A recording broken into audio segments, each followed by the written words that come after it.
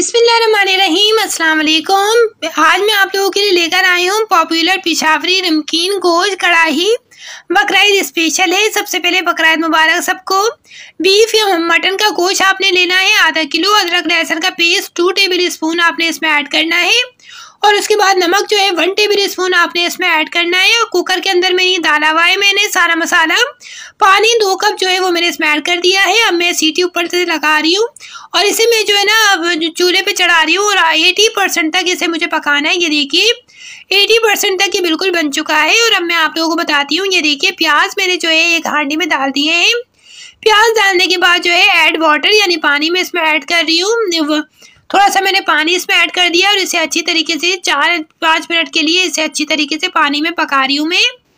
ये देख सकते हैं आप, पानी के अंदर मैं पका चुकी हूँ इसे। ये देखिए, अल्हम्दुलिल्लाह बिल्कुल परफेक्ट बन चुके हैं।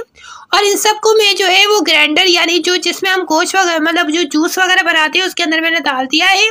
सब्ज मिर्चें यानी वो दो बड़ी मिर्चें भी मैंने इसमें डाल दी हैं। ये देखिए सारों को, सारा का मैं मतलब बिल्कुल सारा का सारा इसके अंदर जो है ना, मैं इसको बना लूँगी, बिल्कुल पेस्ट कर लूँगी इसको। ये देखिए, अल्हम्दुलिल्लाह, माशाल्लाह, कितने कितने अच्छे तरीके से जो ये बनता है। सारा बन चुका है ऑयल जो है वो डेढ़ कप जो है वो मैं इसमें ऐड कर रही हूँ।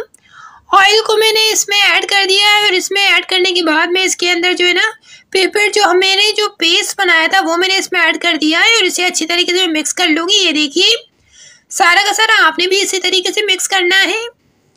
मैंने मिक्स करने के बाद मैं आप लोगों को बताती हूँ, ये देखिए, साबित लाल मिर्च जो है, वो दो से तीन आपने इसके अंदर ऐड करनी है। बहुत ही आसान तरीका है, आप लोगों को जो झटपट बनाना सिखा रही हूँ मैं। दही जो है, वो डेढ़ टेबल स्पून मैंने इसमें दही जो है, वो ऐड कर दिया है। ये पिछावरी नमकीन मैं आप लोगों को सिखा रही हूँ। दही मैंने इसमें ऐड कर दी और इसे आपने ऐसे ही चलाते जाना है, जैसे मैं चला रही हूँ। ऐड कुक बीफ या मटन बोटी जो भी आपने लिया हुआ वो गोश्त, आप इसमें ऐड कर देना है। मैंने जो गोश्त जो बॉयल किया था, वो सारा का सारा मैं इसमें ऐड कर रही हूँ और इसे अच्छी तरीके से मैं पकाऊँगी। ये देखिए। अच्छी तरीके से बनाने के बाद काली मिर्च का पाउडर जो है, वो डेढ़ टेबल स्पून ऊपर से मैंने डाल दिया है। नमक जो है, हसबे ज़रूरत मैंने ऊपर से डाल दिया है। और एक लेमन जो है, वो इसका रस जो है, वो बिल्कुल मैं बिल्कुल ऊपर से जो है ऐड कर रही हूँ। और इसे अच्छी तरीके से मैं मिक्स करने के बाद मेथी जो है, डेढ़ टेबल स्पून जो है, वो ड्राई मेथी जो है, वो मैंने इसमें ऐड कर दी है। और इसे जो है ना अच्छी तरीके से आपने मिक्स करना है, बिल्कुल एक जान कर लेना है। ये देखिए, यखनी जो है एड बीफ यखनी जो मेरी बची हुई थी कुकर के अंदर, वो मैंने इसमें ऐड कर दी है। और इसे लो फ्लेम पे जो है ना, मैं पकाने के लिए थोड़ी देर के लिए छोड़ दूँगी। पाँच मिनट बाद ये देखिए, मैं सब्ज मिर्च जो है ना, दो सब्ज मिर्च यानी हरी मिर्च मैंने इसमें ऐड कर दी है।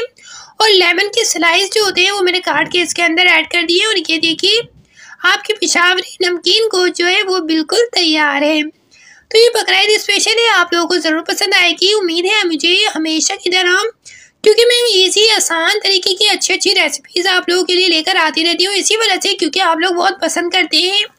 तो अपनी बहन को सपोर्ट करने के लिए सब्सक्राइब ज़रूर करिएगा वीडियो पसंद आए तो लाइक ज़रूर करिएगा। दूसरों के साथ शेयर ज़रूर करिएगा। मिलती हूँ एक नई वीडियो में। जब तक के लिए, अल्लाह हाफिज़।